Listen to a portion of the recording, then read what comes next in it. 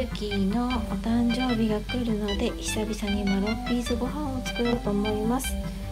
ベビーホタテボイルしてあるものと細かく刻んだオクラこれはお味噌汁にします。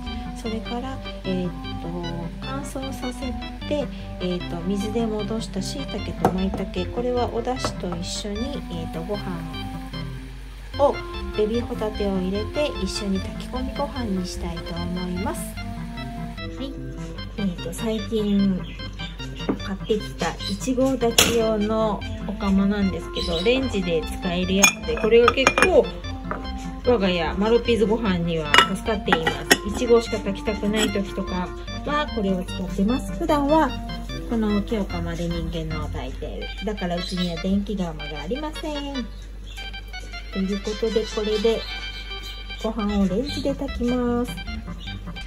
今少し蒸らしています。こちら。美味しく炊き上がれ。ではオープン。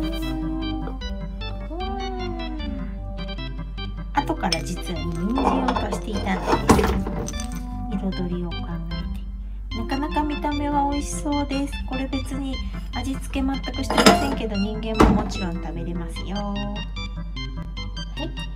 そして最後に、えーと、彩りがなかったので青さを振りかけて出来上がりです。これに先ほど作ったえっ、ー、とオクラのネバネバ味噌汁をかけてハロッピーズご飯の完成です。